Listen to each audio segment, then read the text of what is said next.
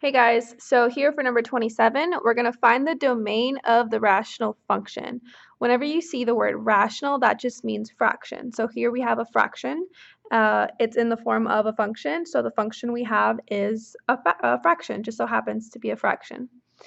So whenever you find the domain, you're finding the x values. So you're finding the values for x that are possible for this function.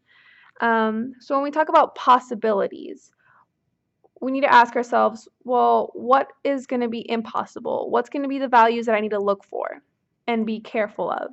So in this problem, since it's a rational function, meaning it's a fraction, the only thing we can't have in a fraction is a denominator of 0.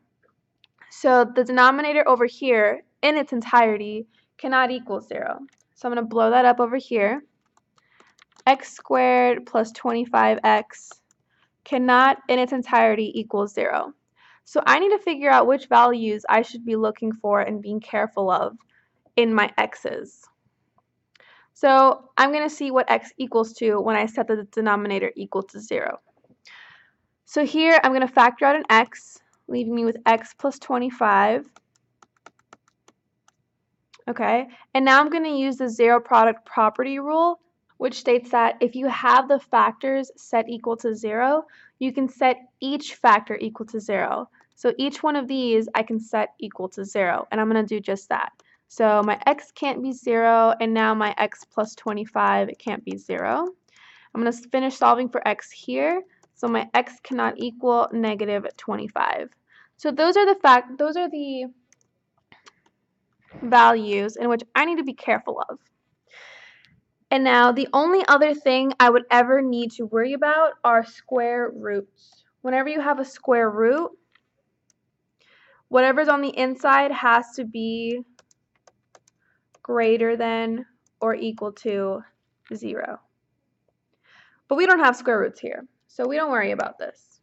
So when we're finding the domain, we're finding all the values that are possible. Here we have the values that are not possible.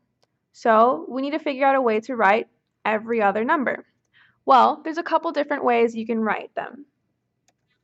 You can use interval notation, or you can use set notation. So with interval notation, we are going to write the intervals in which the x's exist. So starting from the left, or the smallest number, to the largest number, or the most positive number. So we're going to start with negative infinity. And then the smallest number that is an impossibility is negative 25. So we're going to stop there. And then we're going to bring in a union.